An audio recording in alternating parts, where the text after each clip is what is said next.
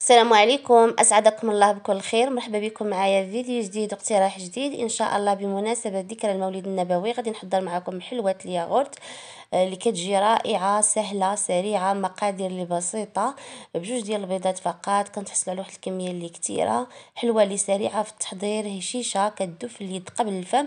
إن شاء الله تجربوها وتنال الإعجاب ديالكم. خليكم معايا للأخير باش تعرفوا على المقادير وكذلك باقي مراحل التحضير. فرجة ممتعة. بالنسبة للمقادير عندي جوج ديال البيضات طبعا البيض حجم كبير كذلك البيض بحرارة المطبخ.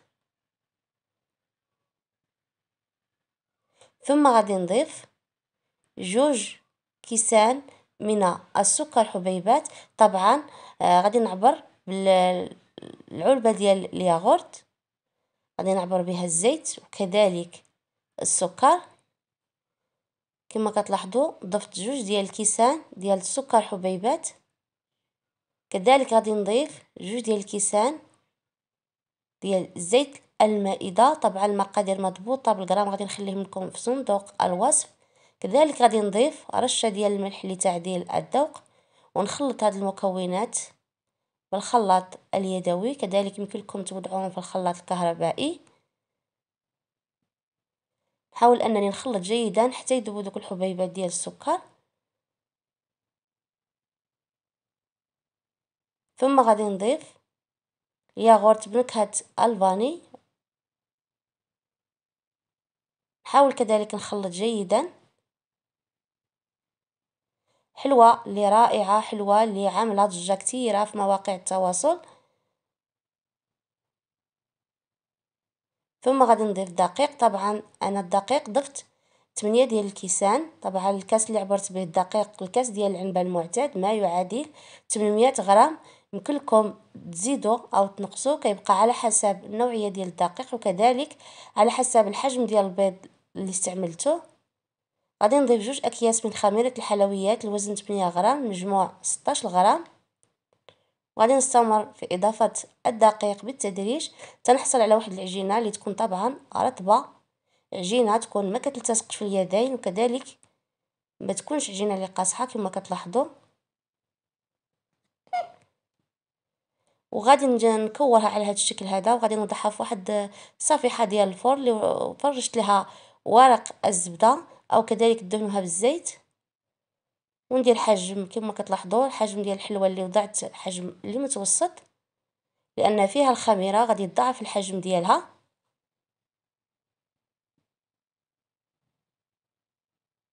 كنصحكم بشدة أنكم تجربوا هذه الحلوة هذه لأنها حلوة اللي رائعة اقتصادية كتخرج واحد الكمية اللي كثيرة كذلك سهلة في التحضير ديالها.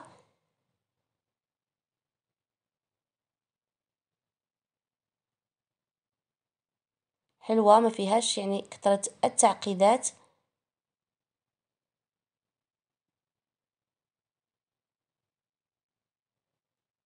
نحاول أنني نبسطها على هذا الشكل هذا. وكناخذ أي أداة ونحاول انني نوضع فيها ثقب على هذا الشكل. طريقة سهلة.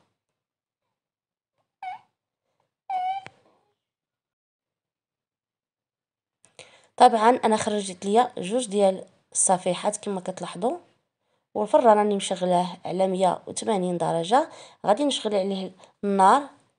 طبعا من التحت حتى نلاحظ أنها بدات كتحمر من الجوانب نهبطها لتحت نشعل عليها النار من الفوق حتى تاخذ ليا هذا اللون هذا. كما كتلاحظوا. بالنسبة للتزيين غادي نزين هنايا بالكوك وكذلك المربى ديال المشمش السائل. خاص بالحلويات نحاول أنني ندهنها ندهنها غير الجوانب كذلك يمكن لكم أنكم تغطسوها في المربى كذلك تفندوها في الكوك. طريقة اللي سهلة في الأخير كتحصلوا على واحد الحلوة اللي كتجي رائعة. كما كتلاحظوا سهلة ما كتاخذش الوقت بزاف وكذلك اقتصادية. بالنسبة لهنايا غادي نحضر معكم الكراميل اللي غادي نعمر به دوك الحفايرات كما كتلاحظوا عندي هنا كاس من السكر. وضعته فوق النار طبعا النار تكون متوسطة. خليه حتى تذوب ذوب داك السكر كما كتلاحظوا نحاول أنني نحركه بواسطة ملعقة خشبية. هاد الصوص كراميل كتجي رائعة كنصحكم بشدة أنكم تجربوها. بالنسبة لدوك الحفيرات يمكن لكم تعمرهم اي حاجة بالنباج أو اللي عندكم أو كذلك بالمربى أو ب يعني الشكلاط غادي نضيف ملعقة كبيرة من الزبدة. نحاول كذلك أنني نخلط مزيان وطبعا النار تكون يعني مهيلة باش ما يتحرقش معنا داك الكراميل ويعطينا المذاق ديال المرورية.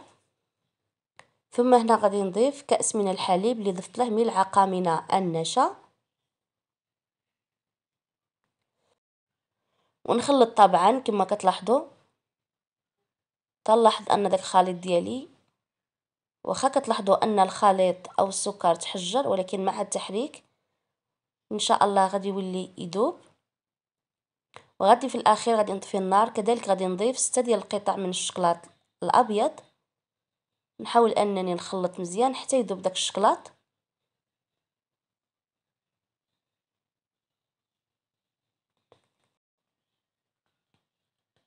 كذلك غادي كما كتلاحظوا الحلوة ديالي. غادي نزينها بداك الكراميل اللي وضعته في واحد العلبة ديال البلاستيك كما كتلاحظوا. نحاول أنني نعمر داك الحفيرات.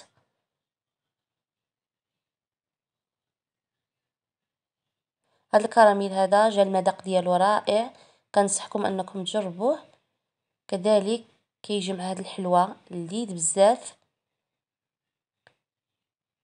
كما كتلاحظوا الشكل النهائي ديال الحلوة اللي حضرت معكم فعلا كيجي الشكل ديالها يعني رائع كذلك المذاق كيجي لذيذ وكتجي هشيشة. كذلك كتخرج واحد الكمية اللي كثيرة. كنتمنى هذا الفيديو إن شاء الله يعجبكم. كذلك كنتمنى أنكم تجربوا هذه الحلوة. وكالعادة لا عجبكم la vidéo كنتمنى أنكم توصلوا لأكبر عدد من اللايكات. كذلك ال partage مع الأهل والأصدقاء كي تعم الفائدة.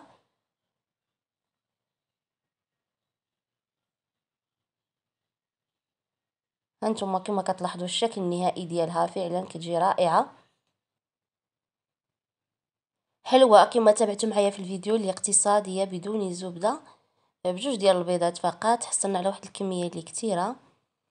وغادي نوريكم هنايا القوام ديالها فعلا كتجي هشيشه كتذوب في اليد قبل الفم.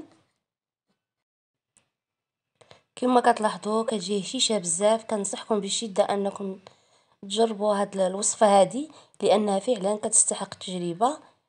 آه كنتمنى لأول مرة كيشاهد القناة ديالي. كنتمنى أنه يشترك في القناة وكذلك يفعل زر التنبيهات. إلى اللقاء في الملتقى مع فيديو وصفة جديدة. دمتم في رعاية الله. والسلام عليكم.